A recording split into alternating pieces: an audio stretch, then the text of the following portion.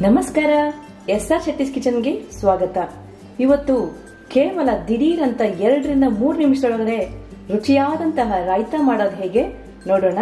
ಅದಕ್ಕೂ ಮುಂಚೆ ನನ್ನ ಚಾನಲ್ಗೆ ಹೊಸಬರಾಗಿದ್ರೆ ಎಸ್ ಆರ್ ಶೆಟ್ಟಿಸ್ ಕಿಚನ್ಗೆ ಸಬ್ಸ್ಕ್ರೈಬರ್ ಆಗಿ ಪಕ್ಕದಲ್ಲಿರುವ ಬೆಲ್ ಐಕನ್ ಬಟನ್ ಪ್ರೆಸ್ ಮಾಡಿ. ಸಿಂಪಲ್ ರೈತಗೋಸ್ಕರ ನೋಡಿ. ಒಂದು ಕಪ್ನಷ್ಟು ಗಟ್ಟಿ ಮೊಸರನ್ನ ಹಾಕೊಂಡಿದ್ದೀನಿ. ಇದನ್ನ ಸ್ವಲ್ಪ ಬೀಟ್ ಮಾಡ್ಕೊಳ್ಳೋಣ ಈ ಥರ.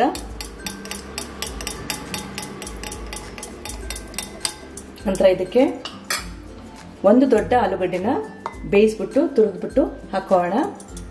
ಇದು ತುಂಬಾ ಸಿಂಪಲ್, ಅಷ್ಟೇ ರುಚಿಯಾಗಿರುತ್ತೆ. ಮಕ್ಕಳು ತುಂಬ ಇಷ್ಟಪಟ್ಟು ತಿಂತಾರೆ. ಇದನ್ನು ನೀವು ಚಪಾತಿ ಜೊತೆ, ರೊಟ್ಟಿ ಜೊತೆ ಕೂಡ ತಿನ್ಬೋದು. ಹಾಗೆ ಕೂಡ ತಿನ್ಬೋದು. ರುಚಿಗೆ ತಕ್ಕಷ್ಟು ಉಪ್ಪು ಹಾಕೋಣ. ಸ್ವಲ್ಪ ಹಸಿಮೆಣಸಿಕಾಯಿ ಪೇಸ್ಟ್ ಹಾಕ್ತಾ ಇದ್ದೀನಿ. ಜೀರಿಗೆ ಪುಡಿ. ಸ್ಪೂನಷ್ಟು ಶೇಂಗಾನ ಹುರಿದ್ಬಿಟ್ಟು ತರಿ ತರಿಯಾಗಿ ಪುಡಿ ಮಾಡಿರುವಂತಹ ಶೇಂಗಾ ಪುಡಿನ ಹಾಕೋಣ. ಇಷ್ಟೇ ಇದು ತುಂಬಾನೇ ಸಿಂಪಲ್ ಆಗಿರುತ್ತೆ. ಚೆನ್ನಾಗಿ ಕಲ್ಸ್ಕೋಬೇಕು. ಈಗ ಚೆನ್ನಾಗಿ ಕಲಸಿದಾಗಿದೆ ಇದಕ್ಕೆ ಸ್ವಲ್ಪ ಕೊತ್ತಂಬರಿ ಹಾಕೋಣ. ಇದಕ್ಕೊಂದು ಒಗ್ಗರಣೆ ಹಾಕೋಬೇಕಾಗುತ್ತೆ ಒಗ್ಗರಣೆ ಮಾಡ್ಕೊಳ್ಳೋಣ ಒಗ್ಗರಣೆಗೆ ಚಿಕ್ಕ ಬಾಂಡೆಗೆ ಸ್ವಲ್ಪ ಎಣ್ಣೆ ಹಾಕೋಣ. ಕಾಲು ಟೀ ಸ್ಪೂನ್ ಸಾಸಿವೆ, ಕಾಲು ಟೀ ಸ್ಪೂನಷ್ಟು ಜೀರಿಗೆ ಹಾಕೋಣ.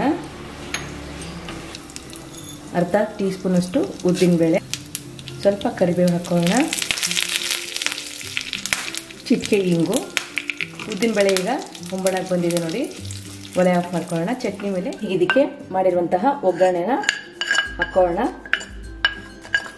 ಇದು ತುಂಬಾ ರುಚಿಯಾಗಿರುತ್ತೆ, ಬೇಗನೂ ಆಗುತ್ತೆ.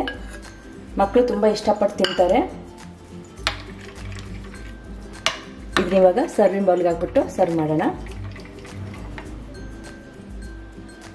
ಈಗ ರುಚಿಕರವಾದಂತಹ ಎರಡರಿಂದ ಮೂರು ನಿಮಿಷಲೇ ಮಾಡುವಂತಹ ರಾಯ್ತ ರೆಡಿಯಾಗಿದೆ. ಇದನ್ನ ನೀವು ಚಪಾತಿ ಜೊತೆ, ದೋಸೆ ಜೊತೆ, ಅಕ್ಕಿ, ರೊಟ್ಟಿ ಜೊತೆ ಕೂಡ ತಿನ್ಬೋದು. ತುಂಬಾನೇ ರುಚಿಯಾಗಿರುತ್ತೆ. ಮಾಡೋದು ಹೇಗೆ ನೋಡಿದ್ದೀರಾ ನೀವು ಮಾಡಿ ನೋಡಿ. ಹೇಗಿತ್ತು ಅಂತೇಳಿ ಕಾಮೆಂಟ್ ಮೂಲಕ ನಮಗೆ ತಿಳಿಸಿ. ಈ ವಿಡಿಯೋ ನಿಮ್ಗೆ ಇಷ್ಟ ಆದರೆ ಒಂದು ಲೈಕ್ ಕೊಡಿ. ಎಸ್ ಆರ್ ಶೆಟ್ಟಿಸ್ ಕಿಚನ್ಗೆ ಸಬ್ಸ್ಕ್ರೈಬರ್ ಆಗಿ. Thank you